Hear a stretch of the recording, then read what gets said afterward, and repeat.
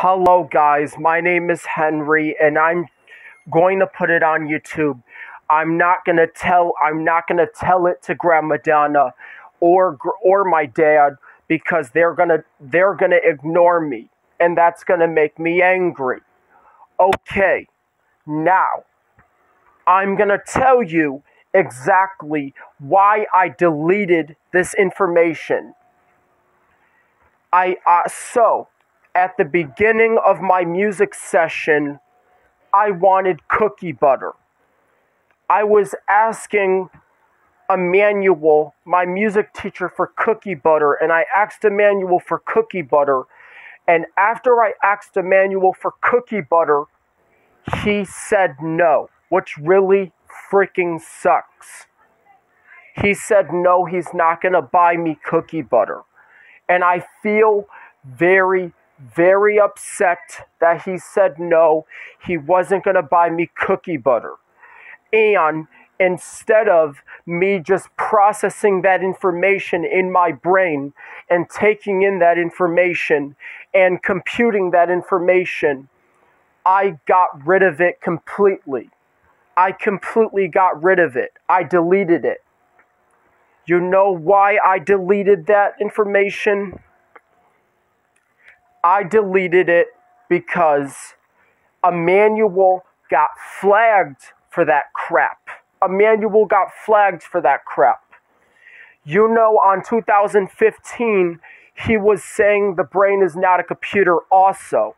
And then I got mad at him. But you know what I did? I flagged his answer. I flagged it.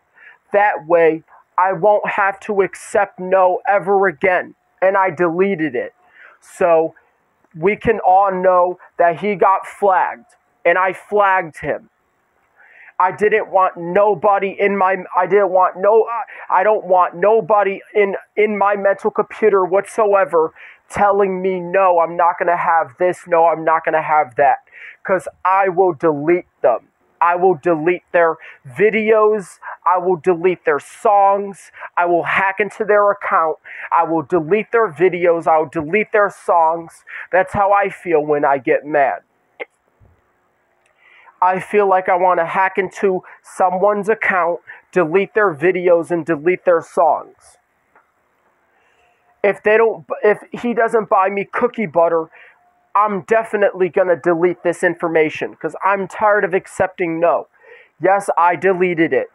And you know why I deleted it? Because it had to be, I had to go take it down before it freezes my mental computer and it causes my mental computer to get viruses. It has to be, t- I had to go take that information down. I had to do it quick.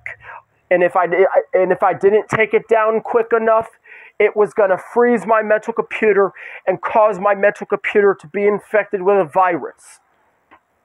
And you know what happens when my mental computer could be infected with a virus?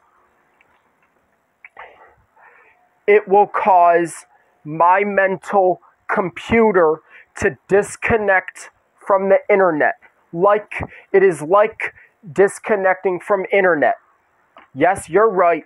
It is like disco- it is like disconnecting from the internet. I already told you what was going to happen to my mental computer if I didn't go if if they don't remove that from my mental computer and they still kept telling me no. So I wanted it I wanted to go remove it. I told you I have to protect my mental computer. If I don't remove that information, it's going to get worse. And Emmanuel has already did something that hurts my has already told me some information that I didn't want computed in there because it was going to hurt my mental computer and it was abusive to my mental computer. So I had to report it and I had to go take it down quick or otherwise it's going to cause my mental computer to freeze. That's why I'm taking down information. I'm ta- and going I'm going on my mental computer and I'm removing it. Removing it. That's what I can imagine in my imagination. I don't care if Grandma Donna ignores me. I don't care if my dad ignores me. I feel like mental computers exist and that there's such thing as a mental computer, but that's really my brain. My brain is a mental computer if it processes information. I had to go in my mental computer and I had to delete whatever was said in the history of of of the teachers before the beginning before the beginning of my school day at the Kessler, the beginning from the Kessler. I went, I started, that's what, that was when I started going to the Kessler, and that was before they started to say the brain is not a computer. And I got so sick and tired of that. I got so sick and tired of everybody in that school saying the brain is not a computer. I had to take that down too. I had to go erase that also. I had to go delete that also. But if they put information in my mental computer telling me I'm not going to get cookie butter, that freaking man, they put he wants to put information in my freaking mental computer telling me I'm not going to get cookie butter. My brain is not going to process that like a computer. I had to go take that information down. And luckily, I flagged it. I flagged it. I reported it. And I can also write down how I feel, which is kind of like flagging, kind of like reporting a video if it's ha- if it's a violation of YouTube's community guidelines. But I had to go in there and I had to remove the junk information from my mental computer before it starts to malfunction and get a virus and have some auto, auto have some very bad technical problems like disconnection from Wi Fi and being disconnected. It's like being disconnected from the internet. It's similar to, to disconnection. That's why I had to go flag it. I had to go flag that information before it messes up my mental computer and causes it to not work properly. That's what happens.